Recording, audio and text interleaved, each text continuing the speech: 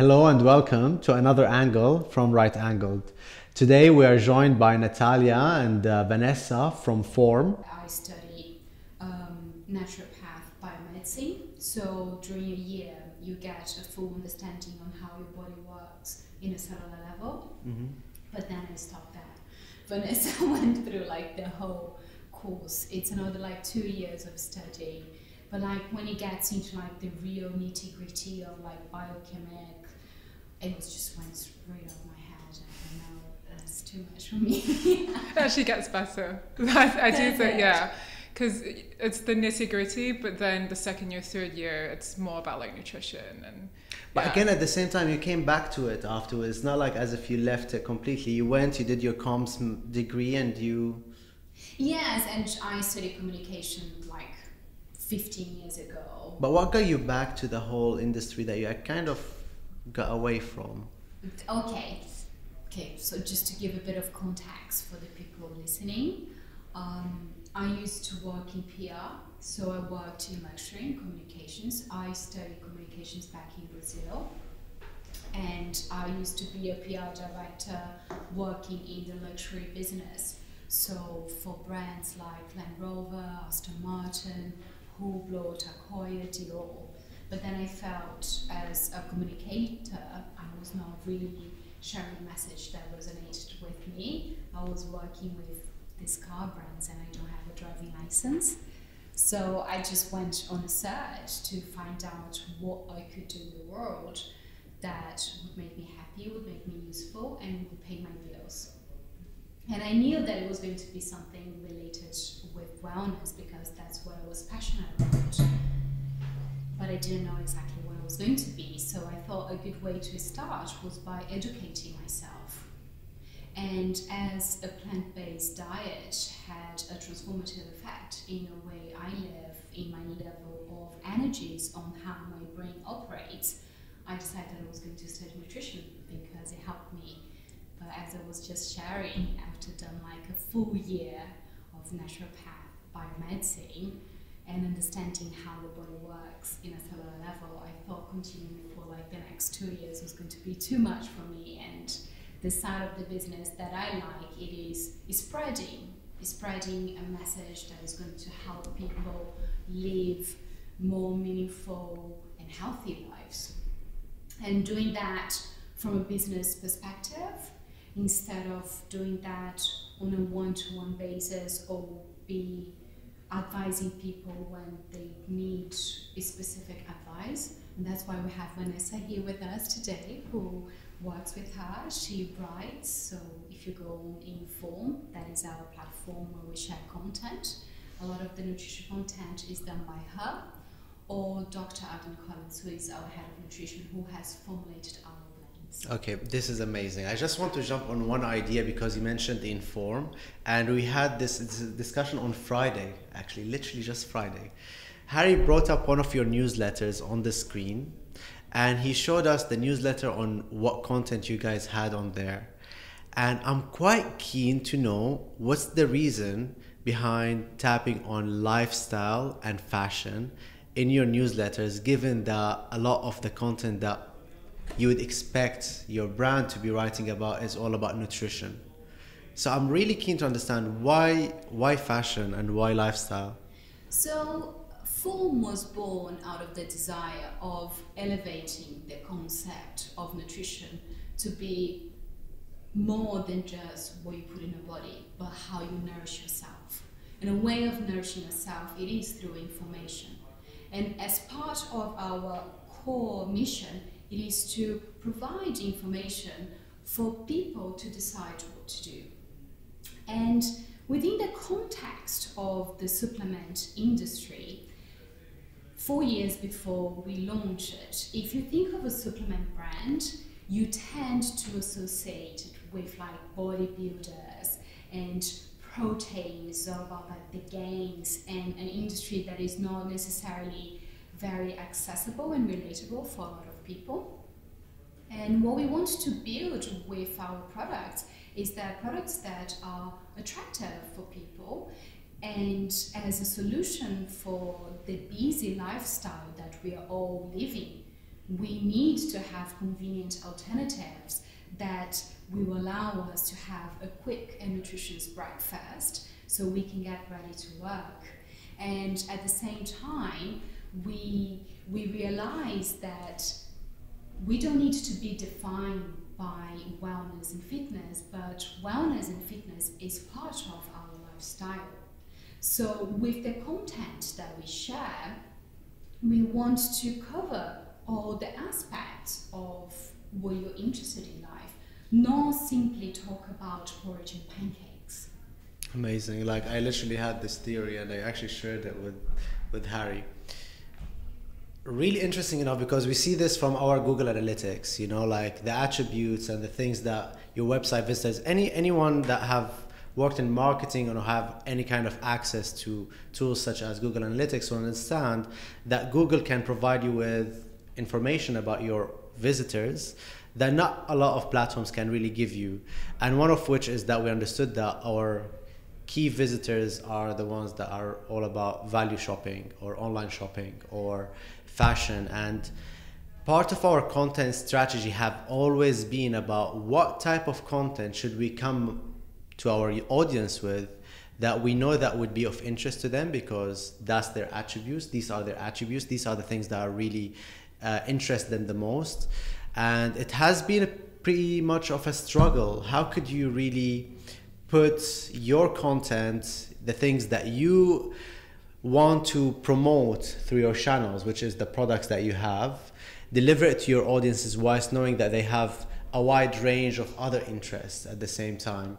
And what you guys have put together is impressive because it did not diverge away too much from your core offering, but it was solidifying the brand itself as a lifestyle brand that has a lot of things that it could tap into, which is outside wellness and bodybuilding, as you mentioned. So, um, so it, yeah, it was pretty interesting. It was pretty interesting, and I just wanted to uh, know the reasoning behind it. But amazing. Really well done on that. So yeah before i actually go into a lot of things i haven't tried your your your your products before but harry did and he said really a lot about it. And thank you so much for bringing this as uh, as a gift with you today. Um, so the ZZZs it's something that really grabbed my interest straight away because it has something to do with restorative sleep so, how did you come up with the idea about this one? Well, I can take the full credit for okay. coming up with that. Uh, but as I said, we have Dr. Adam Collins, who is the head of nutrition, and basically, what we want to do with product, it was to offer a natural way of helping people to sleep better. With form, it's all about encouraging and supporting performance, and sleep is the cornerstone of performance. If we don't sleep well, we know that we're going to be in a bad mood. We know that our cognitive capacity will decline. We know we are probably more likely to crave um, sugar and bad food. We know that it's not good for our immune system. And we also realize that with the levels of anxiety and stress, people are struggling to sleep. One of the common solutions for uh, sleeping supplements that is not necessarily legally legal in the UK, but it's what people normally have, is melatonin. So melatonin is the hormone that is related with telling your body that it's time to wind down and sleep. But the problem is when you take these melatonin pills, you're basically blunting your body's own ability of producing melatonin. So you become addicted to it. It becomes uh, dependent on an external source of melatonin. So what we did with these was to provide a formulation with the nutrition necessary for your body to produce melatonin. So it has 5-HTP from the Gryphon seed. That is a precursor of, it's the neurotransmitter of, you can correct me if I'm wrong, if I just say anything that is not right, but of serotonin. And serotonin yeah. is involved in the process of producing melatonin. Yeah. And it also has L-theanine and L-glycine that are calming amino acids. So sometimes people feel like too nervous, so they just need to calm down, and that's what L-glycine and L-theanine does. It also has magnesium, and magnesium allows your muscles and your body to relax, so it's easy for you to sleep. And also zinc, and there is a lot of research um, telling that when you have like zinc, lack of zinc in your body actually uh, results on not a deep sleep. So basically, by analyzing different research, looking at what it is that is lacking on people's nutrition that potentially are interfering in the quality of their sleep, we come up with these. And as I mentioned before, if you go on our website and you read the reviews from people using it, it it's really rewarding to come up with a product to make it available that has a transformational effect on people's lives. So you you have like views, and Vanessa can remind me because she's the one receiving all of that of people like suffering with years of insomnia, have like tried a lot of different things, and then we're sleeping like one two hours a night, and then progressively, as soon as you're providing the nutrients that your body needs to to calm down they are able to progressively start sleeping like four, six, eight hours a night. Improve their sleep overall, which Yeah. is And even like Yeah. people that don't have uh, a sleeping issue. So, for example, I, I'm- I, I don't have any sleeping issues, but I used to travel. I used to travel a lot, right? I'm the co-founder of uh, an expanding brand. I'm also from Brazil. My family, uh, it's in the other side of the ocean. So if I'm struggling with jet lag, or even when I'm like have to sleep in a flight, I take these because it helps me adjust with the time difference and it helps me have like a deep and restorative sleep. so the deep sleep is the key benefit of the of these. Would you say? Both things. So it diminishes the onset time for for your body to sleep because a lot of people like they go to bed and they spend like hours before they are able to uh, to sneeze to sneeze. yes. And also, the other benefit is, is staying in the deep sleep. I will tell you something. My problem hasn't been actually sleeping, going to bed, or or deep sleeping in any way, but it's pretty much about the, the the quality of the sleep itself. Like when you wake up, you know that you had a really good night's sleep, or you would wake up knowing like, oh, I still feel like so tired. You know, it has nothing to do with the actual the time of when you sleep or not like i could sleep two hours but they could be so deep that i could just like function 24 more hours without the need for anything else. Well maybe not to that extent but anyway. But sometimes i would sleep my six hours which i know that my body needs and still it feels not enough you know? It feels as if like it's not that it's not enough. It's enough. I wake up i don't feel sleepy anymore but i just feel tired you know? I feel really tired from sleeping. So uh, I'm gonna give it a try. I'm gonna see how it works. Really, I'm, I'm quite keen to uh, to try it. Yeah, you, Yeah. you touch in a very important topic, honestly, because sometimes there is even anxiety about like the literature around sleep They say, oh my god, if I don't sleep eight hours a night, I haven't slept enough. But it's way more important the quality Yeah. of that sleep than anything because Yeah. sometimes people they spend like 10 hours but they didn't have like restorative sleep and Yeah. the amount of sleep that one needs is exactly the measurement that you said is how you feel do you feel replenished do you feel Yeah. full of energy or not Great. well so, let me know how it goes no, I will. I will write you a review as well. But I, I do have some points I want to talk about sleep as well. It's sometimes it's so much more about even how deep you sleep. It could be like when are you sleeping. yeah. So actually, our body heals the most between I would say 10:30 until 2. So if you get to bed and from 10:30 to 2 and then you wake up at like 4, you've got majority of your healing in place. But if you go to sleep at 12, you miss out on 2 hours of healing. Yeah. So you can look at like when are you sleeping as well. Yeah, Yeah. definitely, definitely. These are the things that a lot of people have actually tried to reprogram themselves during this lockdown to get better type of prog like their own training, their own exercising kind of shifted in, in ways they never expected it to be. Uh, but I'm the kind of people that now trying to jump on that wagon, trying to uh, get my health and wellness in check again. So uh, so yeah, I'm, I'm putting myself a new schedule for sleeping at 10:30, 11 Yeah. max, waking up at 5, getting my exercises in check.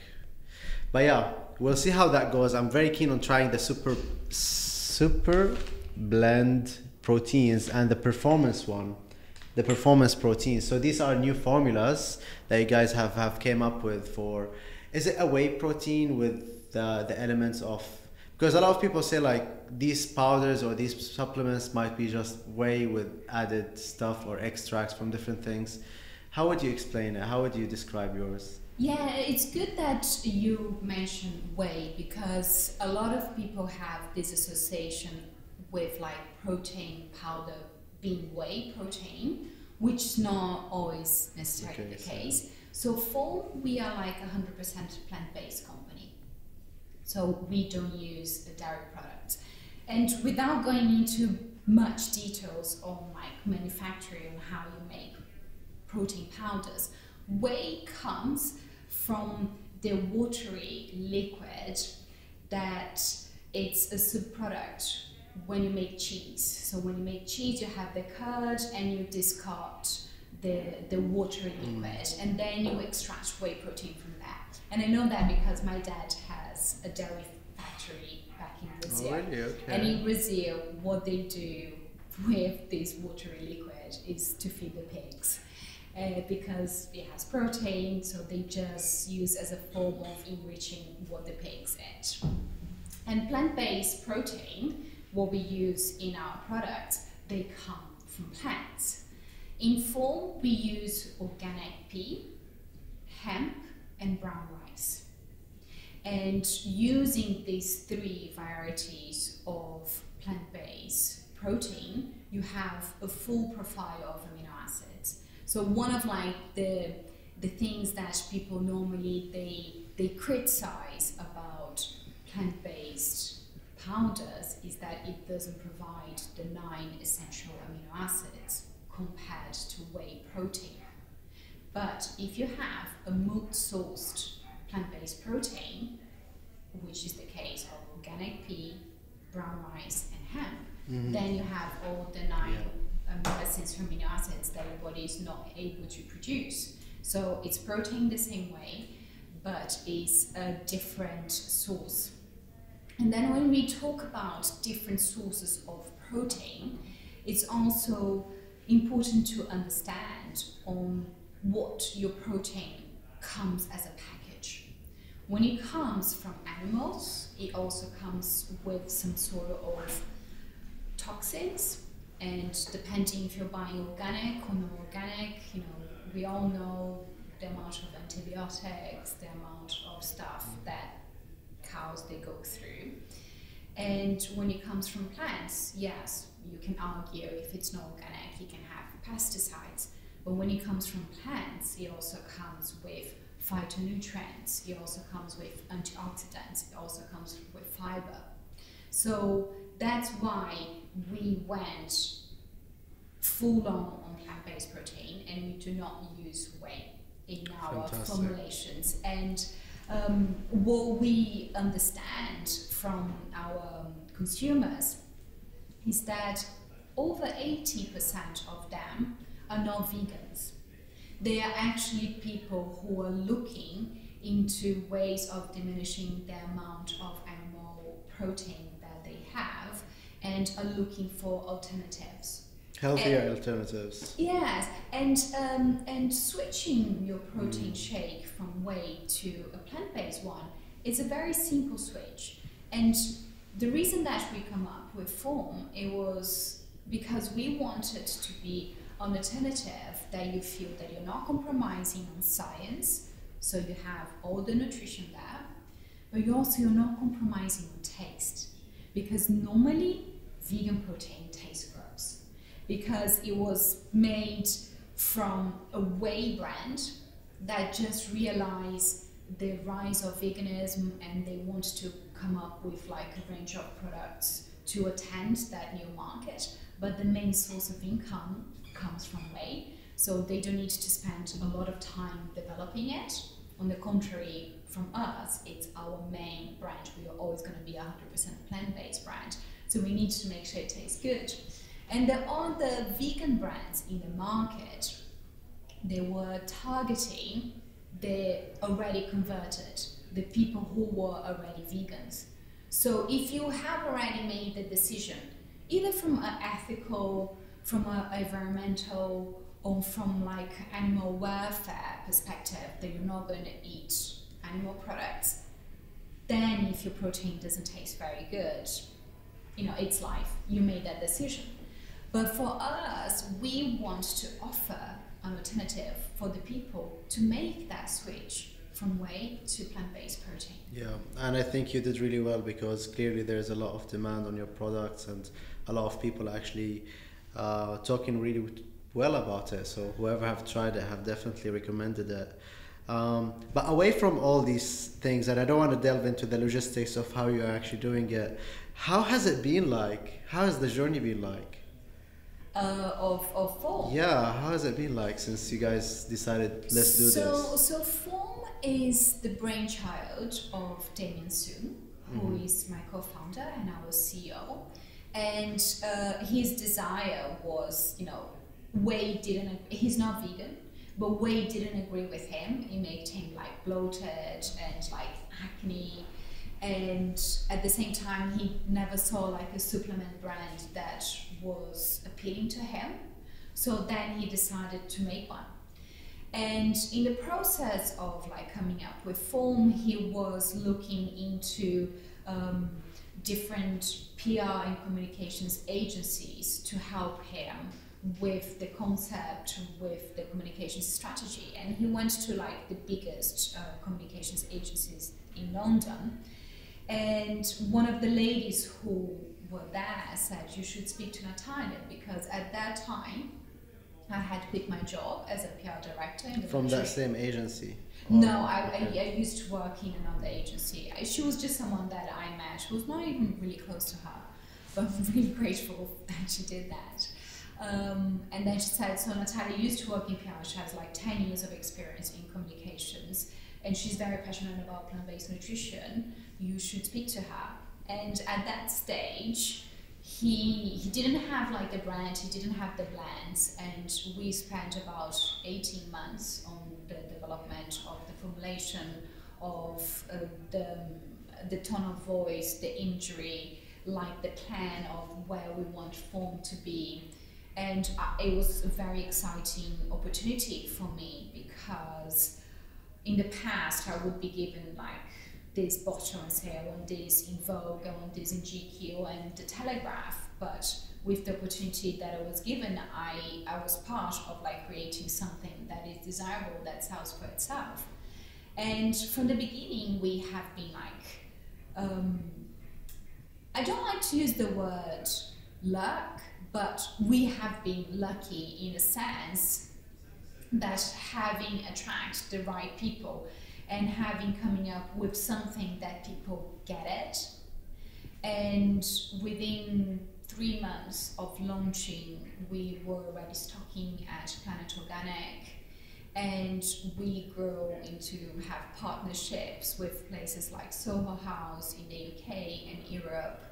We are also now launching in the us in places like sun life organics and we have another stockist there we are in Daylesford Organic, we are also Selfridges, and we have an incredible support from press. So if you see the amount of reviews that we have from Tatler to the Telegraph, from the Sunday Times to Men's Health to Women's Health, and also the support of digital influencers who talk about the brand because they really love the products. We don't pay for posts. We rely on genuine endorsements because I believe in the supplement industry It's a crowded market, isn't it's a it? crowded market and it's a market that plays on people's insecurities. So it tells people that they're not good enough. It tells people that they're not worthy unless they have a six pack. And it's always trying to push products into them. And we have a completely different approach. We have an approach of empowering people to make their own decisions and providing the solution. And we don't do like before and after uh, pictures. We, if you look at our feed, if you look at our website, we have a more holistic approach into nutrition because it also allows us to have a much bigger audience than a small audience who are already like converted and like obsessed about fitness and nutrition. And and that's what it's interesting, is, you know, when, when you come up with products, when you come up with brands, you do have a strategy, you do have like a, a communications plan. But until it's executed, you don't really know what is going to happen. And the surprise that we had, and, and I guess it's a good surprise, is that if you look at our customer database, if you use the user generated content on our social media platforms, you can see that Form is consumed from ballerinas to bodybuilders and everyone in between. And it's, that's not just like a, a catchy phrase, that is the reality. You, you will find this profile of people uh, using the products. And we are an independent startup. We don't have like massive budgets. We always have been one of using resources in a creative way and also being very lucky to have attracted people like for example vanessa who has a different um, background and skills that brings and elevates everything do and every time that we hire we are a small team but we're always looking for talent that have like a T T like range of skills. So it's someone that knows a little bit of everything, but have an in-depth knowledge An in a certain area. Yeah. Yeah, amazing. It's it's very interesting thing, and I would like to ask you a little bit more about that actually, if you don't mind. No. So, so you are a startup that is growing, and you're going through recruitment as you mentioned. So, what is your favorite question that you actually ask all candidates? Do you have such one? Well, we it's interesting that you ask that because with our recruitment process, we first start with an application. So we have like a questionnaire uh, with about like 10 questions. And with those questionnaires, the, what we're trying to understand is how that person thinks and if aligns with what we think and it also what we are trying to look it is someone who can bring something to the table that we haven't thought of Great. So, what are the challenges? What are the challenges? It's all great and rosy and amazing, and I know that you do your job really well. You know, like clearly what you guys have been doing with the brand, with the press, with the way that you present the company is amazing. But as a co-founder, it's not a, a smooth sail. It's always ups and downs. It's a roller coaster sometimes. So, i think the, the challenge that I, I would say that um, I have as a personal challenge, like I have a personal challenge of making whey protein irrelevant. And this is a massive industry. It's an industry that worth like millions with like really, really, really, really big players and companies that have like bigger budgets than we have, right? And, and and that is a challenge, you know, being competing with like a big brand and sometimes stop and appreciating what you have achieved without having the amount of staff, the amount of money, the amount of resources, the amount of influence that they have is a challenge. Um, the challenge of like always wanting more, always wanting things to be ready sooner than they are with like product development, for example. The challenges of having to face a lot of no's before you get an yes and but I think we manage it like well, I I don't know. Vanessa, who works with me, probably can say more than we do. But although we are always striving for success, we we don't allow comparison to dim our light or what we're already doing. And and I think that's that's very important um, and also grow in a sustainable way in an organic way and also with integrity and keeping your values um, without jeopardizing your values and I didn't leave an industry where I was not like feeling fulfilled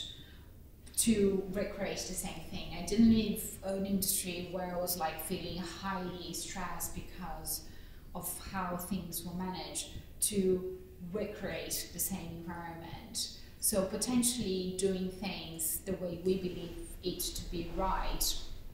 And we have one of our core says that we are quick thinkers that don't rush, which I also think it's important because a lot of like these startups they have this uh, concept that we have like to grow, grow, grow, and sometimes if they get VC investment, it, it's like someone who has like feet on your neck, putting like even like more pressure on you, and we don't have any of that. So you're self-funded.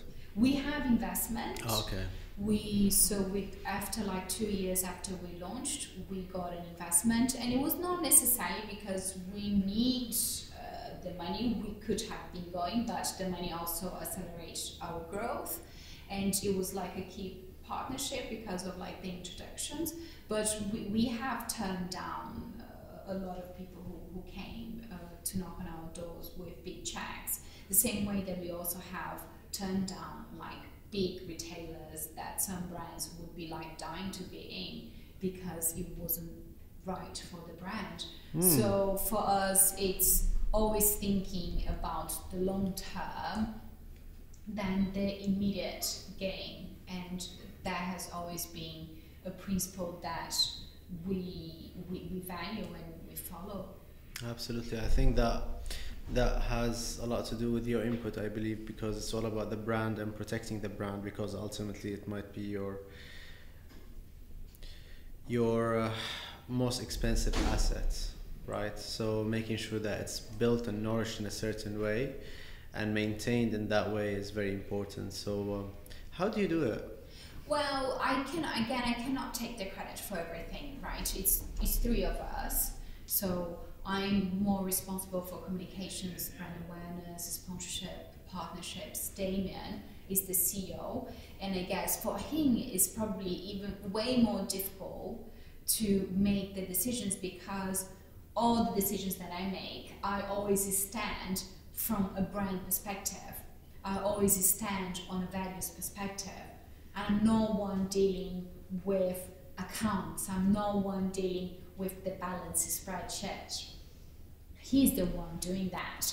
So I think big credit to him to be able to look at the numbers, to be able to look at our growth, drive our growth that we have been growing month by month since we first launched and understanding that the growth that we are we, the rate of growth we are we are achieving it's good enough that we don't need to put more pressure on ourselves on, on the team and in detriment of the brand he's also very brand savvy he he has a great eye for luxury has a great eye for experience and everything. The same thing for, for Pete, who is another co-founder of us, who is in charge of our logistics, making sure we have the packaging, making sure we have the products and everything is well in the manufacturing.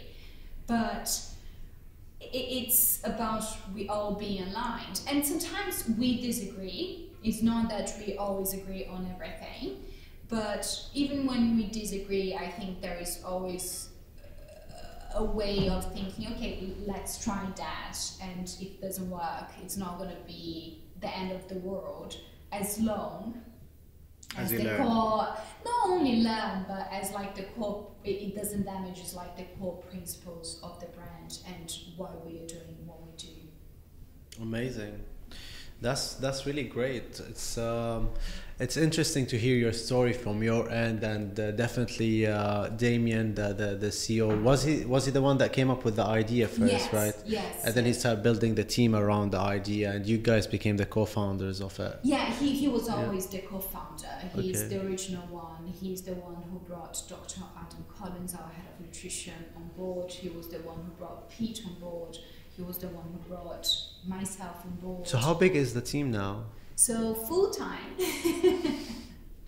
People never believe when we say that, but full time it's now five of us. And then we have, of course, our Contractors. Dr. Adam Collins. He's a head of nutri- uh, head of research at Surrey University, so he's not full time. And Pete as well, he's actually not full time. And we have contractors that work for us, like our digital uh, marketing agency and that, but full time. So how are we doing your marketing? Is it like all contracted to agencies, to no, ads, or No, we like Vanessa, for example, designs a lot of our ads. having someone with multiple, putting multiple hats on is the key, isn't it? Yes, she does. You know, she and I think that's what what is interesting about being a startup environment and any founder who is not like taking fully advantage of having a close contact with your audience, it's like losing an immense opportunity of gaining insight. And Vanessa, for example, she deals with our customers on a day-to-day basis. So when she creating an advert, she already understands how people are perceiving their brands and what they need to know. When we are thinking about new product development, again, she's receiving this email. So everything that we do, because we're a small team, can be um, very well thought and well executed. Coming back from when I worked in, in a massive corporation, sometimes you don't even know um, what someone in logistics or product development is doing until something is already ready and it's Yeah. on your desk. Great. So how's it been like for you, Vanessa? How many months you've been here? Been there? Seven months now. Seven Started months. yeah beginning of December. It's been Amazing. great. Yeah, it's really really great experience. Have you had startups before, or was it your first startup?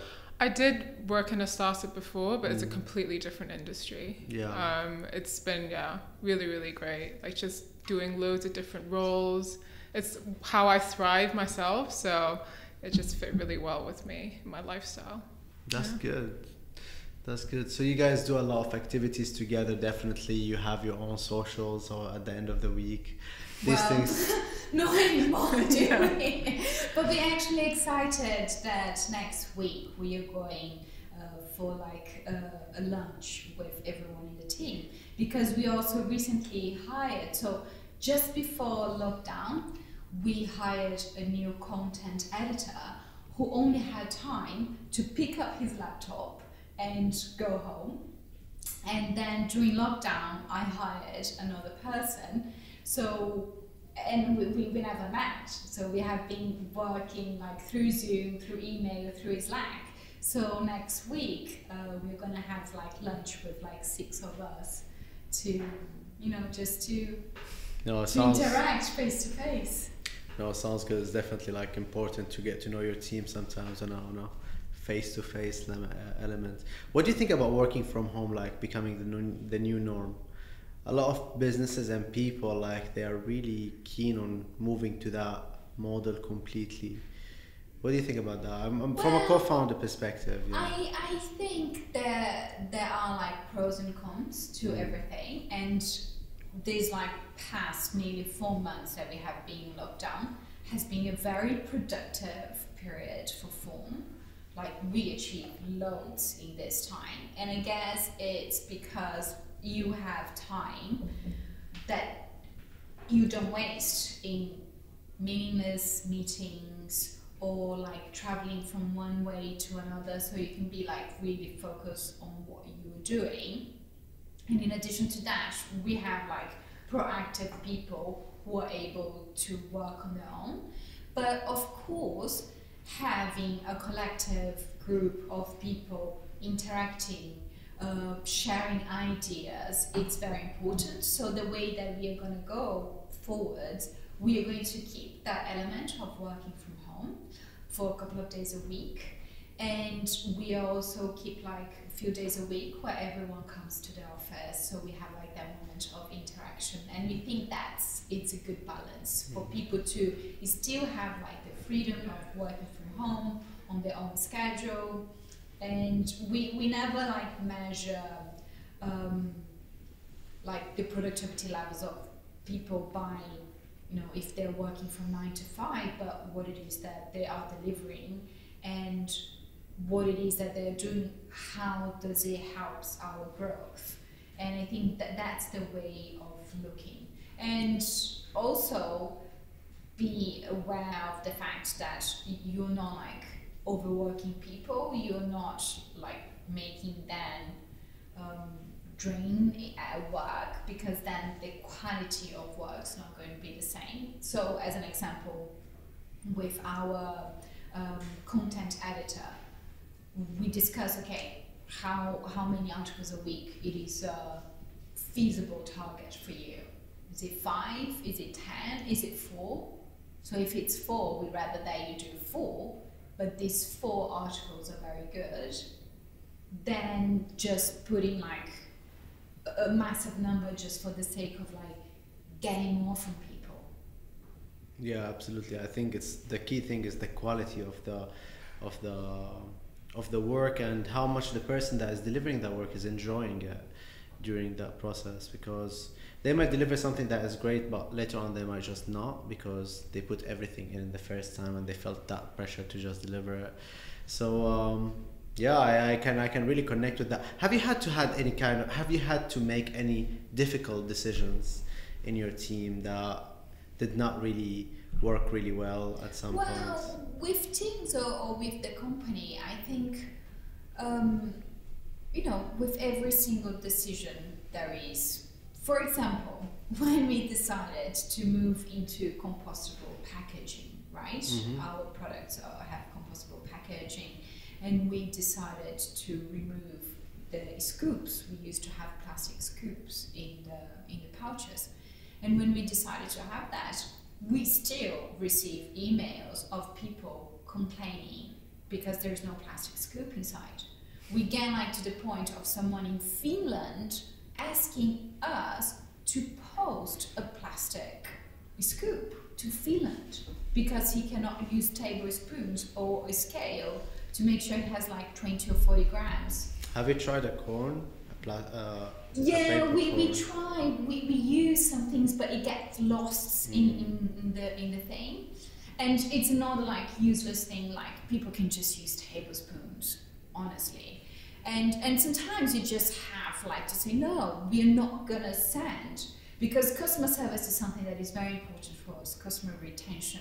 And we treat our customers as we want to be treated. So we are like a very much a yes company who are going to teach you, you how to like your pro- our products and if you don't like it you can return if something goes wrong with your delivery we arrange something immediately we are very much a yes company but sometimes you have like to make the difficult decision of making someone upset by saying no but you have to, to do it and, and i think that's the the role of a leader to have clarity on what it is that is important to you and know that some of your decisions are not going to be good for someone but Not everyone gonna like the Yeah, same thing. yeah. You can't please everyone, absolutely. yeah no you can't Yeah, makes perfect sense.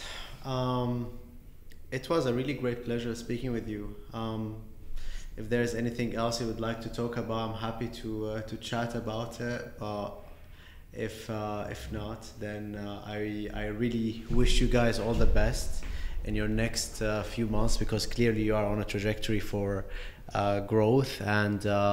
It's going to be interesting to see how, how this will evolve.